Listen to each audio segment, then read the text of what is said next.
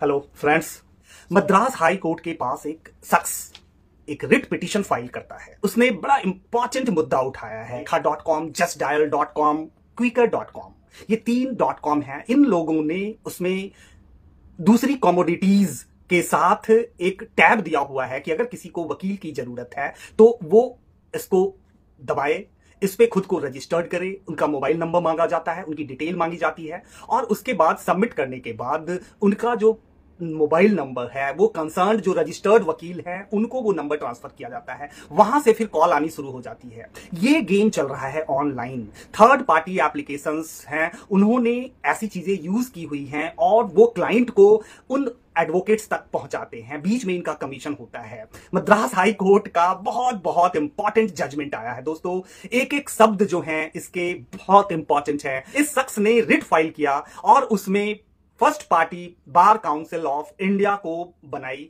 इस शख्स ने second party bar, state bar council Tamil Nadu को बनाई। इस शख्स ने तीन और पार्टियाँ अपने रिट में बनाई, जो Sulekha dot com Just Dial dot com और क्विकेट डॉट कॉम। बड़े इंटरेस्टिंग ऑब्जर्वेशन है कोर्ट की, जिसे मैं आपसे डिस्कस करूँगा। इस शख्स ने सारी चीज़ें प्रॉपर डॉक्यूमेंटेशन के साथ कोर्ट में लगाई कि कैसे ये जो थर्ड पार्टी वेबसाइट्स हैं, ये एक दो नहीं, भतेरे मेनी वेबसाइट्स हैं, इतनी सारी संख्याएँ हैं ऐसी वेबसाइट्स की, जिसमें वकील को रजिस्टर्ड करने का ऑफ़र दिया जाता है, उनको क्लाइंट देने का प्रॉमिस किया जाता है, और ऐसी वेबसाइट्स चल रही हैं, जिसमें लिखा होता है कि डिवोर्स के लिए ये डिस्काउंट मिलेगा ऐसी वेबसाइट्स चल रही हैं, जिनके मोडस ऑपरेंडी हैं, उसमें एंट्री होती है, उसमें जब आप अपना नंबर डालोगे तो वहाँ से वो पिन जनरेट होता है। वो डॉक्यूमेंटेशन के साथ इस शख्स ने मद्रास हाई कोर्ट में रिट फ़ाइल की और इस पे सुनवाई करते हुए मद्रास हाई कोर्ट का ऑब्जर्वेशन लाजवाब है दोस्तों। मद्रास हाई कोर्ट ने कहा कि वकालत एक बिज़नेस नहीं है। मद्रास हाई कोर्ट ने कहा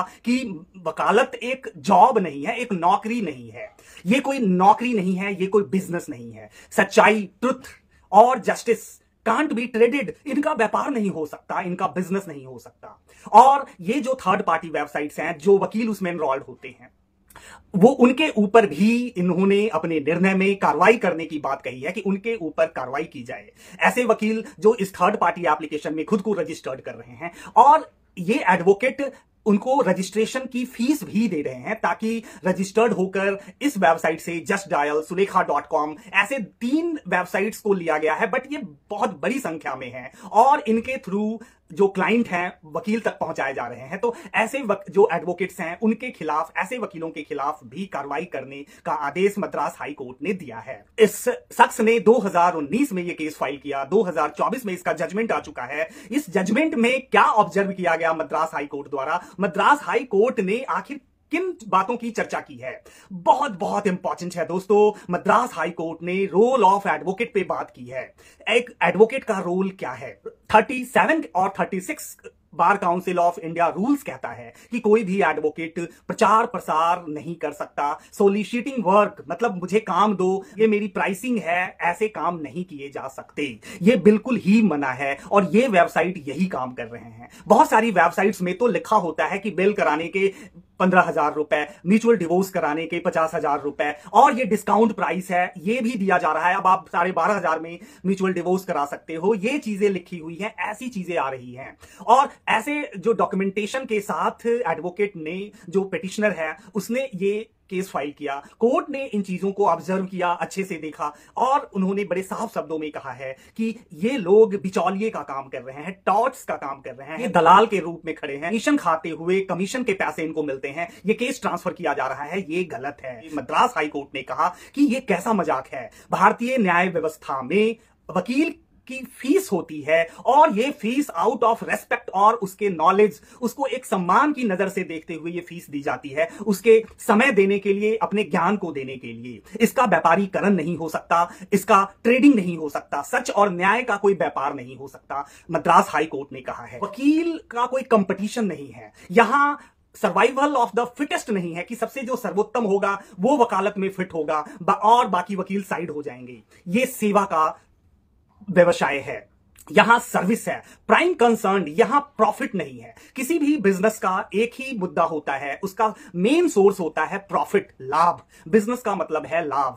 मद्रास हाई कोर्ट ने कहा कि ऐसे बहुत से वकील हैं जो सामाजिक मुद्दों के लिए लड़ रहे हैं, जो जो जो वंचित लोग हैं, जिनके अधिकार नहीं मिल पा रहे, उनकी लड़ाई लड़ रहे हैं। बहुत से ऐसे वकील हैं। तो वकील की फ़ीस होती है जो उनको रेस्पेक्ट के तौर पे दी जाती है। ये पूरी तरह प्रॉफिट ओरिएंटेड प्रोफेशन नहीं है और यही चीज़ें वकालत को दूसरे प्रोफेशन से अलग करती हैं। क्विकर डॉट कॉम ये जो Just Dial dot com Sulekha dot com यहाँ टैब बने हुए हैं इन वेबसाइट्स पे कि अगर कोई प्लम्बर सर्विस है तो आपको लेनी है। अगर कोई वॉशिंग कपड़ों को की धुलाई करनी है तो ये सर्विस लेनी है, ये सामान, ये सर्विस ये सर्विस और उसी टैब में एक टैब बनाया हुआ है, आपको एडवोकेट चाहिए नीड एडवोकेट तो आप यहाँ दबाओ। आपको अपना केस चाहिए किसी खास फ़ील्ड में तो आप इसमें दबाओ। एडवोकेट की कैटेगरी दी हुई है, उनकी रेटिंग हो रही है।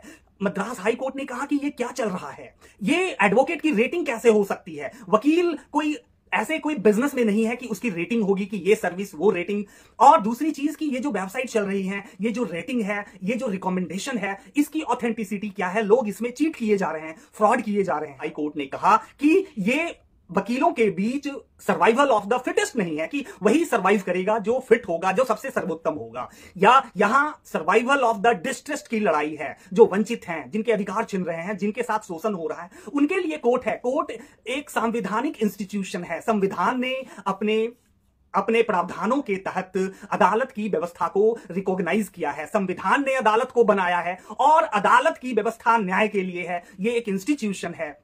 और इस इंस्टीट्यूशन में जो वकील दिन रात लगे हुए हैं, उनका प्राइम ऑब्जेक्ट है न्याय जस्टिस और ट्रुथ दोस्तों, ऐसी सिचुएशन में मद्रास हाई कोर्ट ने कहा है कि आप एडवोकेट को कमोडिटी कैसे बना सकते हो? इनको बेचने का सिस्टम आप कैसे बना सकते हो? न्याय को बेचने के लिए आप वेबसाइट पे कैसे लिख सकते हो?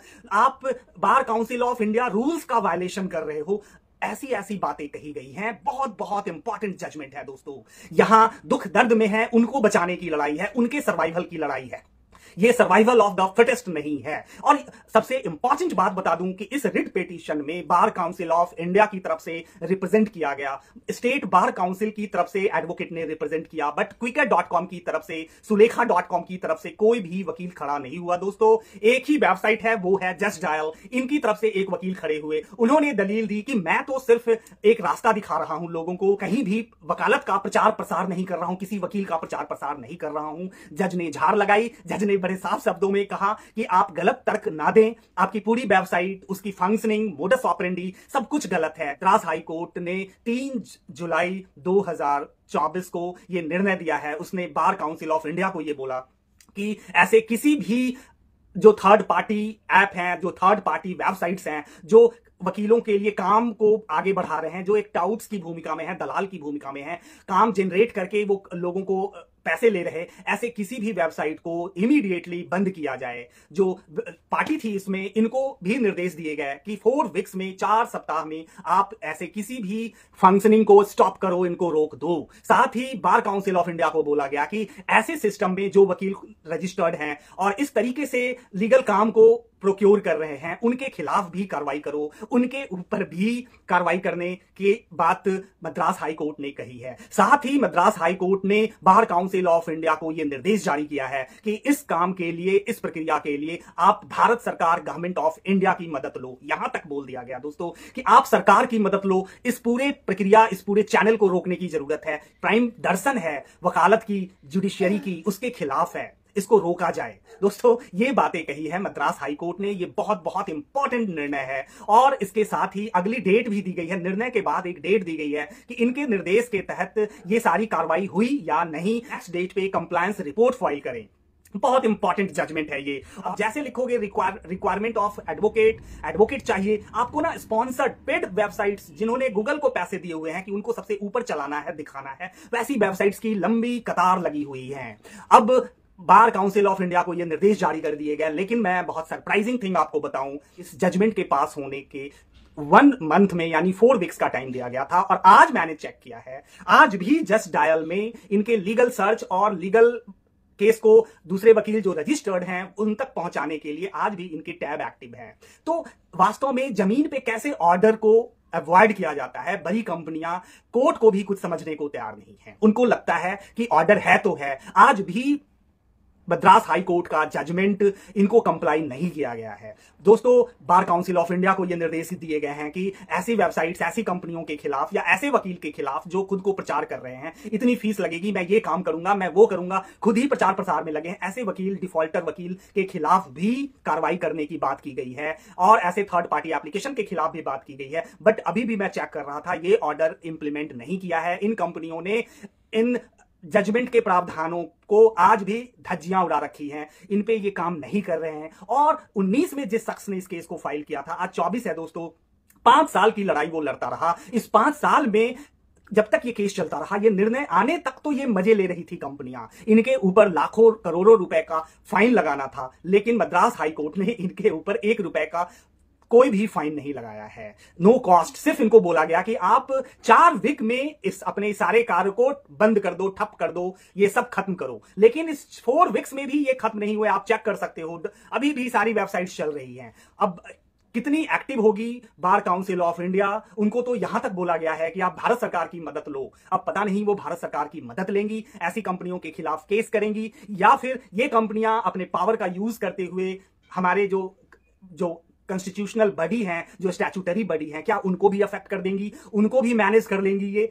बड़ा प्रश्न है दोस्तों, इस जजमेंट के बाद भी जो मैं आपके सामने रख रहा हूँ। लेकिन ईमानदारी से इस पर काम करने की ज़रूरत है एक्शन लेने की ज़रूरत है डिफॉल्टर वकीलों के खिलाफ, और खुद बार काउंसिल ऑफ़ इंडिया के रूल्स में मना है एडवर्टीजमेंट प्रचार प्रसार एक इंपॉर्टेंट इश्यू ये है कि तीन जुलाई को जैसे ही यह निर्णय हुआ, सात जुलाई को बार काउंसिल ऑफ़ इंडिया ने एक नोटिफिकेशन जारी कर दिया है। इस जजमेंट के बाद उन्होंने सारे स्टेट बार काउंसिल को लिखा है कि वैसे वकीलों के खिलाफ, वैसे वेबसाइट्स के खिलाफ जो आपके स्टेट में चल रही हैं, उनके खिलाफ कार्रवाई करें, उनके खिलाफ फटाफट आप एक्शन लो, उनके खिलाफ केस फ़ाइल करो। तो दोस्तों, ये एक बड़ा अभियान होने वाला है। मीन पे ये चीज़ें कितनी चलती हैं, कितनी कार्रवाई होती है, इन पे भी नज़र रखनी है। आप भी चेक कर सकते हो वेबसाइट्स ऐसी वेबसाइट्स डिफॉल्टर वेबसाइट्स को।